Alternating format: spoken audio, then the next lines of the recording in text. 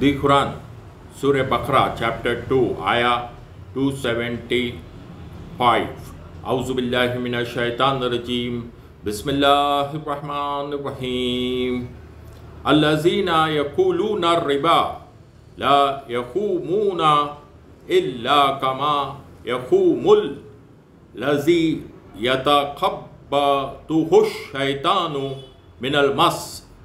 ذالکہ بأنهم قالوا إنما البيع مثل الربا. وأحل الله البيع وحرم الربا. فمن جاءه موعظة من ربه فانتهى فله ما سلف وأمره اللہ و من آدا فاولائک اصحاب الناری ہم فیہا خالدون صدق اللہ العظیم۔ Translation those who consume interest will stand on the day of judgement like those driven to madness by شیطانس touch That is because they say trading is like riba, that is dealing in interest, whereas Allah has permitted trading and forbidden riba, dealing in interest.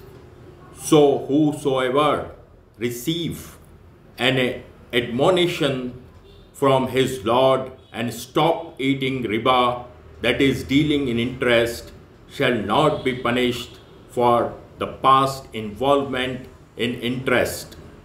His case is for Allah to judge.